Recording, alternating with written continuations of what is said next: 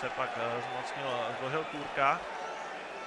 Vondrka a Zbořil bude se vylučovat na druhé straně, ale to je velká šance a gol. Pavel Skalický v signalizované výhodě prakticky okamžitě vrací vedení na stranu Mladé Boleslavy. Obrovské zaváhání domácí obrany trestá Pavel Skalický svým desátým gólem eh, v letošní sezóně.